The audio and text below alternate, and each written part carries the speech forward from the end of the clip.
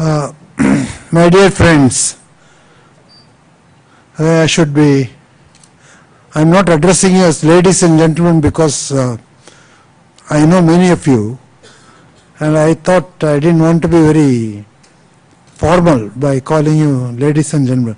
In fact, I was present in when one minister uh, read out a speech uh, prepared by secretary and uh, the he read it very interestingly. He said, uh, uh, "Gentlemen, I know you so well to call you gentlemen." and um, in fact, he- there is again another thing.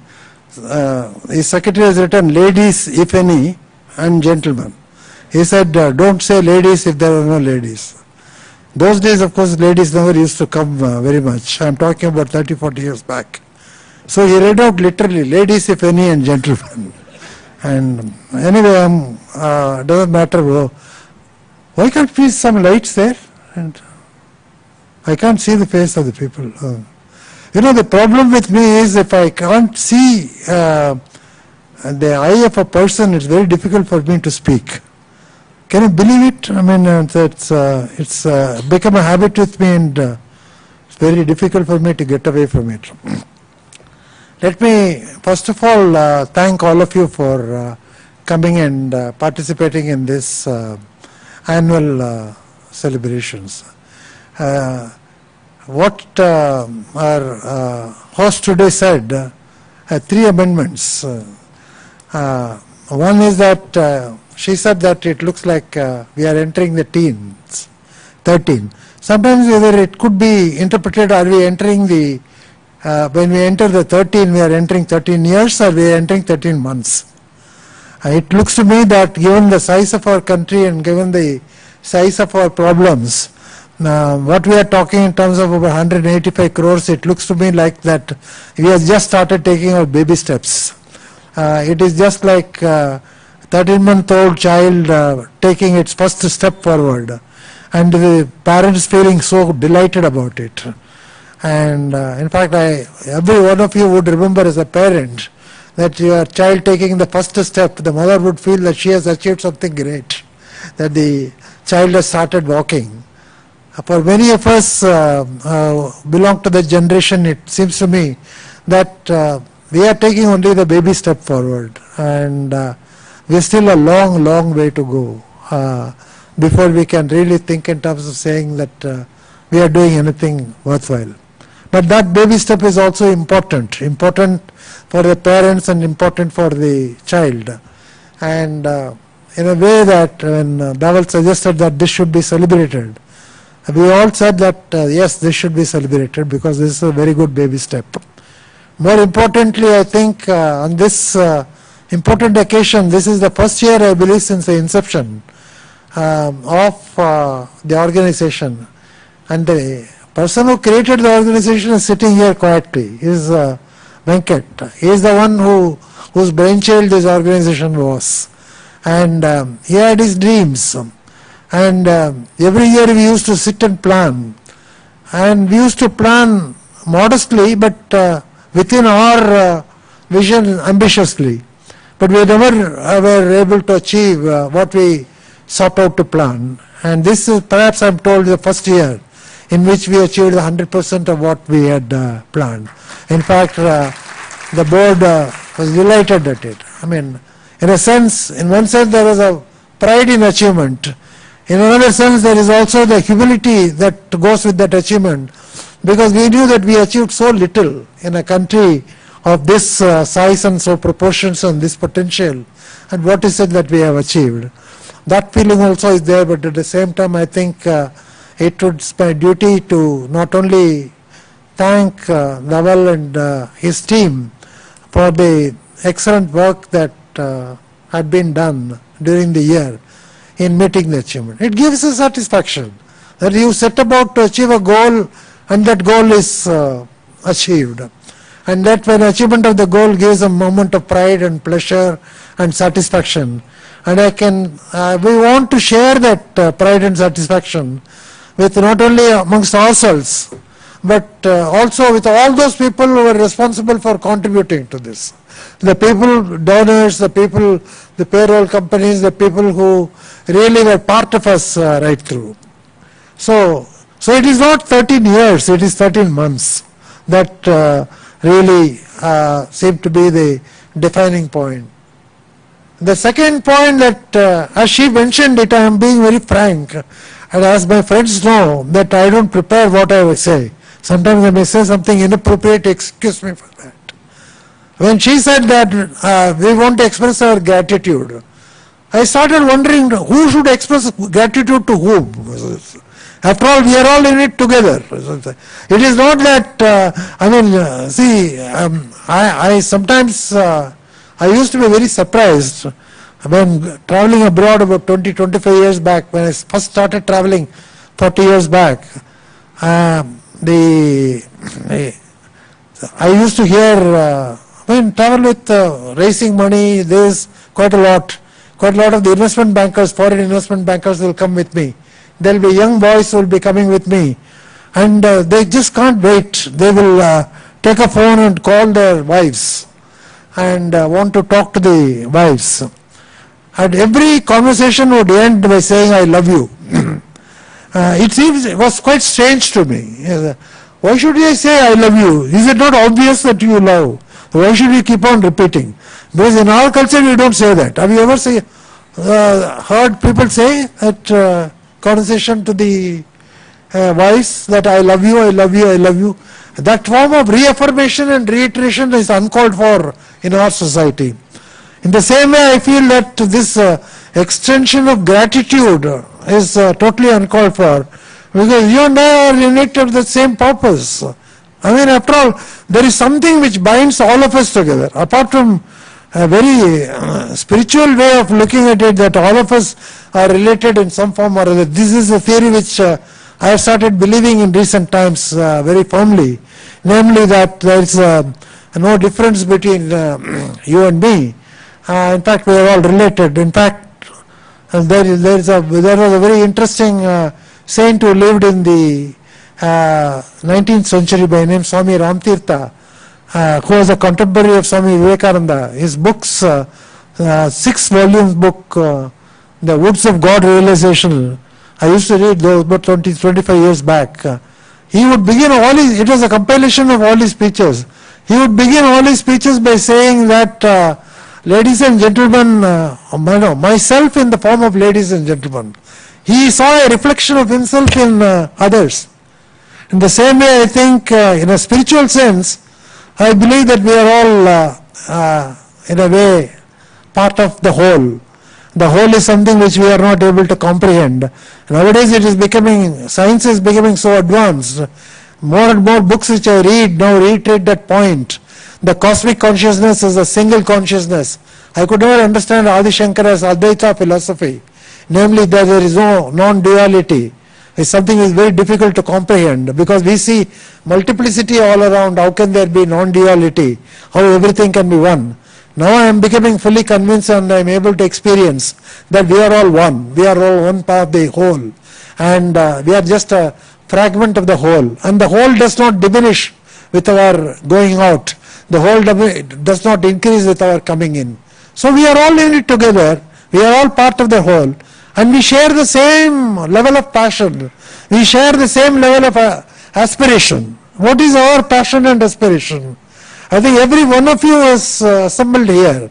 Whether he is a member, he or she is a member of the Give India team, or whether they are associated with Give India in some form or other, we are passionate about something that we are passionate about our country. We are passionate about the suffering of the people. We are passionate about the need for the amelioration of the living conditions of our countrymen. We believe that something good will have to happen during our uh, uh, time. In a sense that before we depart from this universe, we must see some change in the living conditions. We have a sense of delight. We have a sense of pride. I mean, when I see, when I, the uh, driver who drives me, when I come here in ICICI Bank, um, I encourage his son to join the engineering college. When he comes and says that my son has now become the chief engineer in the some uh, ship, uh, marine engineering, it fills you with a sense of joy that you are able to contribute something to this, uh, this happened. He came to me with his, when his daughter finished his 12th standard and said, sir, what do you think we should uh, do? I told her, put her in college. I said, but I don't know whether uh, I should, I could afford it and whether it's the right thing for to. I said, go ahead and do it. She is now working in London uh, with her husband in a software company. And you feel so delighted and you and I share that passion, share that uh, commitment that we are here for this purpose. We see uh, that uh, in that we live in a country where there is uh, so much insensitivity. I mean, insensitivity in a sense, people sometimes people get knocked down in the car road. People don't care; they walk. I think somebody showed a picture that day, TV in the YouTube it came that how a person lies knocked down and how many people did not even bother to look up that person is uh, alive or dead, whether it should be taken. Insensitivity is something which is uh, so much part of our society. In fact, uh, I remember reading a Chinese story, and the Chinese story is that the, the, the there was a king, and the king uh, uh, wanted his son to be trained. So he wanted, he took that son to the most intelligent say, person who was a Buddhist monk who was well known for his uh, uh, wisdom. And he said, I want you to train my son to be the king. The Buddhist monk looked at him, Are you sure that you have come to the right place? Said, yes, I want you to train him. He said, In that case, you better leave him here. I will uh, look after him. So he told uh, this uh, young prince, saying that you go to the forest which is nearby and spend one year in the forest. And then uh, Guruji, what should I do in the forest? You come back and report to me what did you hear in the forest. He came back after a year. He said, what did you hear? I heard uh, the noise of the thunder. I heard the noise of the uh, river flowing. I heard the lions roar. I heard the elephants bleat. The master looked at him, yes, you did a good job. But I think you need to spend one more year. So he goes for one more year. So after that he says, what did you hear? Oh, I heard this time birds chirping and I heard uh, this uh, noise of uh, uh, uh gentle wind blowing and the rustling of the grass. I, ah, I see some improvement, but still you are not heard enough. I think you must go for a third year and spend some more time. At the end of the third year, when he came, then the, he said, what did you hear? I heard the sound of the flowers blossoming. I heard the rainbow forming on the sky, the sound of the rainbow forming in the sky. And uh, the master said, now you have learnt. Now I think you are fit to be the king. So the prince goes to the king and the king asks him, what happened? What did you learn? So this is what my master taught me. He comes back to the master and says, uh, what did you teach him? I mean, what is it all about uh, hearing sounds? He said, in the first year, he heard the gross sounds. The second year, he was able to hear the subtle sounds. The third year, he was became so sensitive that he, he could hear, he could be sensitive to even unexpressed grievances. As a, as a prince, what I want him is, a king should be sensitive not only to the grievances of his subjects which are expressed, but the grievances, he should be in a position to anticipate the grievances. He should be in a position to become, be sensitive to the grievances of the people. And that sensitivity he was able to achieve in the third year. I think this story made a remarkable impression on me. Why is it that as a nation we are not sensitive to the fact that there is so much of poverty in the country? And this is worrying me. And today, when we are all assembled here today, I found that what binds you and me together, what binds all of us together, is the fact that uh, we share the same passion, we share the same sensitivity. Because you and I are not the ones who will just pass by when somebody is suffering. I, we would stop and take a look at it. Can I do something to relieve the suffering of this uh, person? We are also share the passion, we share the conviction that 60 years after we became independent, was a young 11 year old kid, uh, when we became independent, I, I remember the scene. I did not know what independence meant. And uh, I said that something great event has taken place. I was living in Chennai at that time. And uh, at the midnight, everybody poured out into the streets. And uh, we didn't have a television, we did not have a radio. We were young uh, people and we were just uh, walking. And where were we walking? But uh, what is our destination? We did not know anything about it. We just became a part of a huge crowd that thronged the city.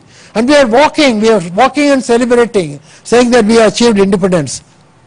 Gradually it dawned on us that the independence meant that there is going to be freedom within the poverty which we saw would disappear and there would be improvement in the living conditions of the people. But 60 years have gone, 65 years have gone. We don't see that visible improvement in the living conditions of the people. I it looks to me that having lived a fairly long life, I'm getting close to 77, and uh, many of the years when I lived, I don't think that there is a, visible change that has been brought about. People can challenge me on that. There has been improvement. But you look at that improvement uh, from the point of view of uh, uh, what you see. I mean, in one uh, conference which I had to address, when somebody claimed that uh, uh, poverty proportion has come down from 30% to 22%, I think, sir, have you looked at the numbers? 30% of 300 million, 400 million is very different from 22% on 1.3 billion. So the number of poor people has increased. Uh, how many times have we been able to see? Yes, that's I think that we missed the whole uh, process. We believe that we have not been able to make an impact on it. And that's the reason, after all, one way of looking at Give India's mission is very simple. Give India really wants uh, a very focused point, namely that we want to use our energy in promoting the culture of uh, philanthropy in the uh, country. I mean, it is not as though that philanthropy was not there. Philanthropy was there. But philanthropy was, was a very different purpose. Philanthropy was uh, always associated with a religious sense, uh, giving a religious uh, charity or anything like that. I don't know whether you uh, know of one president. You, many of you are young and some of you, of course, uh, very may remember. There used to be a president by name V.V. Giri. Have you heard of him? His wife Saraswati Giri, I remember very well, because uh, that is uh, the Commissioner of Police in uh, Hyderabad gave me the story, whether you believe the story or not, it is true. And uh, she uh, used to travel by train from Delhi to Hyderabad. And uh, Hyderabad used to be sort of a second capital. There was a time proposal to make Hyderabad a, what you call the summer capital of India uh, because there was one in the south and one in the north. Uh, she used to come from Delhi uh, and uh, she wanted to go to Bhadrachalam, that, uh, the temple. So, as usual, the security was all cleaned up and uh, what do you do when you're in the Bhadrachalam? The first thing you do is to clear the place and make it clear and there should be no intruders. And Bhadrachalam, have you ever been? I don't know. There used to be lots of beggars there in uh. They would be lining up on either side of the temple. The first thing the police did was to clear them up all and then send them far away. And then next day they would come back. But that day during the president's vice visit they should not be there. So this gentleman who told me the story was Saranyan, who was the commissioner of police. He, he, the president's wife got down and she said, you know, I must uh, go to a bank. I said, uh, why, madam, why? No, no, I must get some small change. You know, it has been my habit. In Bhadrachalam, there would be a lot of beggars. And uh, it was my habit of uh, giving uh, small change to them. So, then he got a fright of his life because he did not know whether the beggars are there or not. And so he contacted his uh, counterpart in the wireless and said, are you sure that the beggars are there? Sir, there are no beggars here, everybody has been sent away. So bring them back, bring them back. So, but they have been sent away very far. I think we have to take a long time for, to bring them back. He said, no, but somehow or other we must, because the president's wife has just uh, wanted some small change. We have just got about 35 minutes, 40 minutes to reach that. I don't know what you will do, but you ensure that there are enough beggars there for, for her to receive the alms. And uh, she went and uh, Saranyan was uh, all in uh, great anxiety. Fortunately, there were beggars on uh, either side lined up. The only difference was they were all pot-bellied beggars. The, the people very fat and healthy and uh, President's wife must have been very satisfied with the way in which they looked. What he did was, the local man, for want of doing anything, he asked also all the policemen, you strip. you stand on either side of that. Well, that's the only way in which I can provide the beggars. And, and uh, those days, we all gave uh, uh, money, not so much for the purpose of uh, the uh, uh, ameliorating the conditions of the poverty, but to take care of ourselves. Because culturally, religiously, we were told that there is a punya waiting for us when we do this culture. We had to accumulate enough of punya in order to do that, and we gave that right. I think that is no longer the governing condition. Today, the motivation for uh, giving is very different. The motivation for giving is uh, what are we going to do to the society. In the social sector particularly, I, I am honest enough to make an assessment. I have come to the conclusion after uh, nearly four decades of working very near the government. Government, I don't want to be harsh on the government. The government alone cannot resolve it. Three, three points which I'm, I'll let me make it. One is the government cannot resolve this problem of the social sector. Whether you are in the education, whether you are in the health. I look at that problem. 1.5, uh, according to one survey which I read uh, recently, there are 1.5 million doctors that are required in this country to take care of the population of the 1.25 billion. If we apply the normal standards of uh, uh, ratio of uh, patients to the doctors, and we have only a fraction of that 1.5 million here. And uh, how many uh, uh, people are graduating in as uh, doctors? Very few doctors are. And schools we saw in the education, despite all that is being done, I mean, we conduct a survey, Pratham, as part of uh, this uh, uh, ASER survey as we call it. And uh, our education level has not shown, despite the fact that Pratham has been doing glorious work. And uh, she mentioned in the introduction that has been, she read whatever has been given to her. And I can tell you the fact that Pratham, Pratham people believe that they have done a great job. But what is the impact on the ground? The impact on the ground is the quality of education has been coming down. The quality of health has been coming down. And international surveys like, uh, they show that India is in the bottom of that ladder. But what is most astonishing is that recently I saw a presentation by Sony to its uh, chief ex- senior executives. It says India has 25 million kids who can be called high IQ kids, which is equal to the total number of kids in the United States. That's the position. That is the potential which we have, but we are not able to expo- exploit it, and we are not able to do that because of the government is not in a position to come to the, and they will never set up that primary health clinic. The second important point is there are NGOs in large numbers, and some of the NGOs have fire in their belly. They are, I mean, charged with it, uh, passion, which is before their passion, your passion and my passion is nothing. And you and I perhaps are intellectually passionate. Intellectually, we believe that we must do something. These are the people who walk in the field and who are the people who are uh, feeling the uh, uh, actual impact of the poverty on this.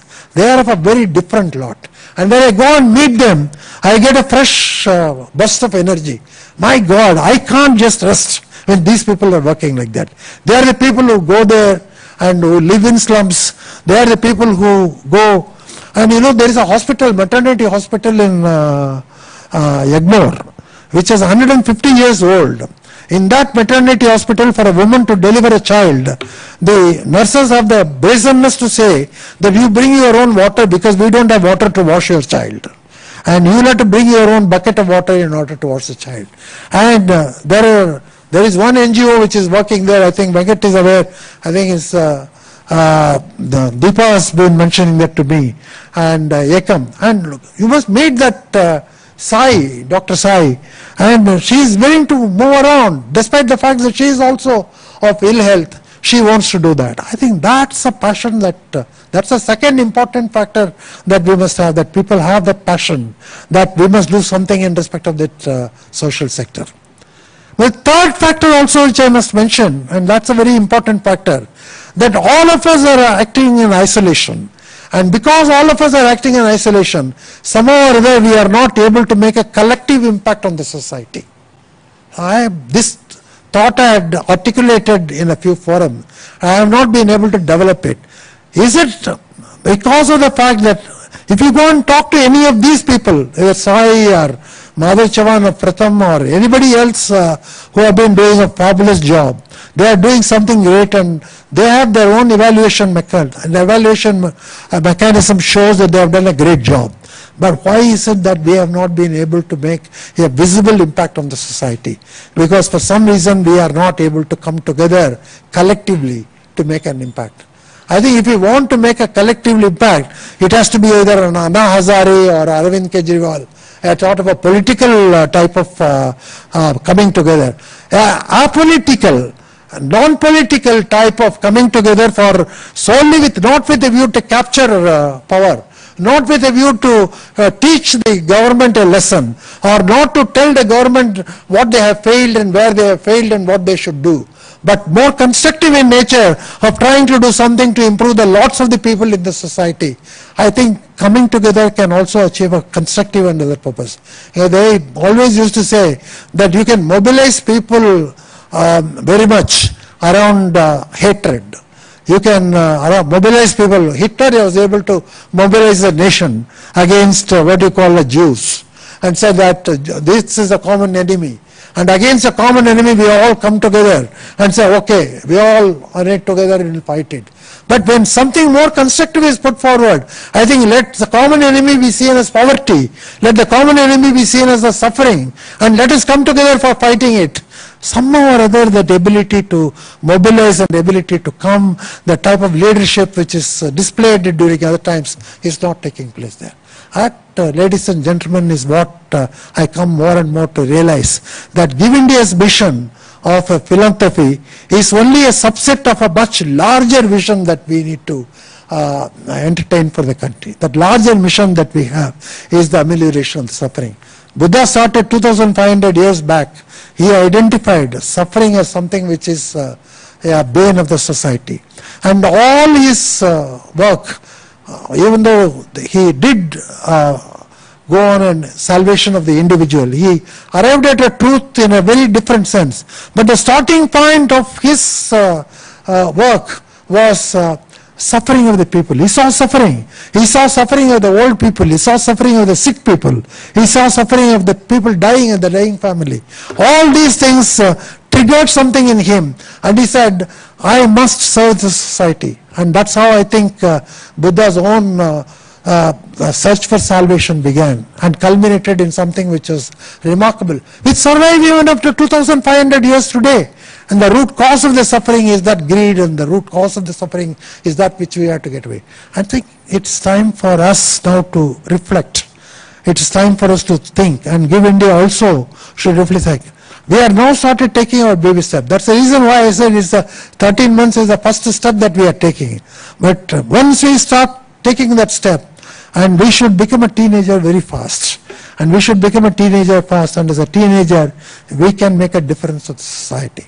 And I think if all of us, we can spread that message, and there is some leadership that emerges in the society, an apolitical, non-political leadership, which can galvanize this nation, because there is enough potential in the country. Vivekananda, 150 years back, said, give me a thousand people, we can transform the society. Uh, we have tens of thousands of young men and women and I see them every day. I see them in my every walk of life. And I am fascinated by what I see. I am fascinated by the passion which they display. If some way in which we can really bring them together, I think this society will be very different. Today when we assemble uh, to celebrate uh, the Give India and uh, to, for whatever it is worth, to express our sense of gratitude to all of you uh, to have joined in this uh, Again, I will repeat the collective mission of uh, relieving the suffering. This thought I want to place it before you and I want you to reflect on it. Thank you very much.